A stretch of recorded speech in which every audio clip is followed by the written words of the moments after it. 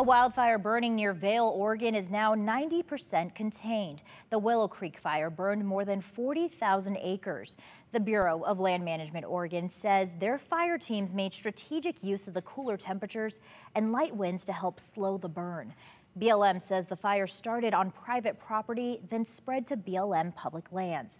Now, agencies like the International or the National Interagency Fire Center warn fire seasons are becoming year-round events. When Congress passed the bipartisan infrastructure bill late last year, more money went to increasing firefighter pay, and it turned many seasonal jobs into full-time positions.